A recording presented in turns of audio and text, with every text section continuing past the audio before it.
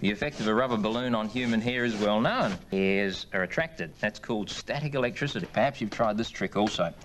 Take an ordinary plastic pen, rub it on your sleeve, and bring it up near some little scraps of paper, and you'll find that they are attracted. Another example of static electricity. What is not so well known, however, is the effect of a dinner fork on a tennis ball. Have a look at this.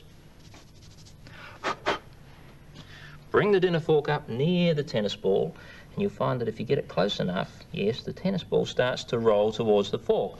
So bring the fork back towards yourself and the tennis ball keeps rolling. Isn't that amazing? In fact, I think I can get it to work with my fingers only. Here we go. Yes, coming towards me, coming towards me, and I can stop it whenever I want. You're probably saying there must be something attached to the ball. There isn't. Look at that. Ordinary tennis ball, nothing attached to it. What about my hands?